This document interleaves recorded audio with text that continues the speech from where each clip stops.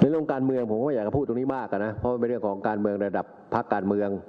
ซึ่งมันก็เป็นทุกพรรคอะนะผมไม่ไปชี้แจงไปแก้ไขแก้ตัวอะไรให้ใคร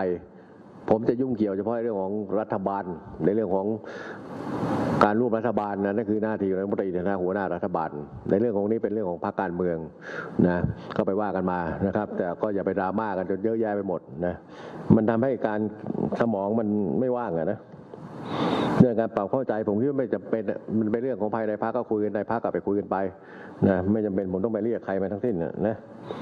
ผูกโยงเก้าอี้รัฐมนตรีผมบอกแล้วไงรัฐมนตรีการที่ผมจะไปปรับคอรมอได้ มันก็ต้องว่าในขั้นตอนหนึ่งในเรื่องของ พักร่วมรัฐบาลนะนายกจะต้องพิจารณาในภาพรวมตรงโน้นนะครับในเรื่องของตรงนี้เป็นเรื่องของพรรคการเมืองก็ว่ากันไปนะท่านก็ทราบดีอยู่แล้วล่ะว่าอะไรเรื่องเนี่ยมันเป็นเรื่องของกลไกทางการเมืองในระดับพรรคมันมีระดับพักแต่ละพักอันสองระดับพักร่วมอันสามระดับรัฐบาลนะครับ ก็ขอให้เข้าใจในตรงนี้ด้วย อย่าให้มันมีปัญหาอย่างอื่นต่อไปอีกเลยนะครับ แค่นี้มันก็พอแล้วนะบุญวายพร้อมควร แต่เราแก้ได้ด้วยความเข้าใจระหว่างกันนะครับ ขอร้องสื่อและบรรดาโซเชียลต่างๆ ด้วยช่วยกันดูในส่วนที่มันเป็น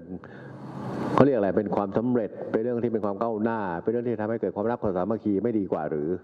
ผมไม่สามารถจะบังคับให้ใครรักได้ทุกคนนะเพราะฉะนั้นก็มันต้องมีคนทั้งคนรักคนเกลียดนั่นแหละ แต่อย่า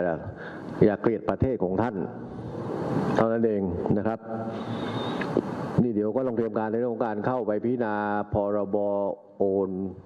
รายจ่ายงบประมาณใช่ไหมในวันมะรืนนี้ผมก็จะไปแถลงด้วยตัวเองในสภาอีกครั้งหนึ่งนะครับให้ความสำคัญให้เกียรติสภาผู้แทนรัษฎร ให้เกียรติสมาชิกที่เรียกว่าสมาชิกผู้ทรงเกียรตินะครับทุกท่านต่างคนต่างให้เกียรติซึ่งกันและกันนะครับ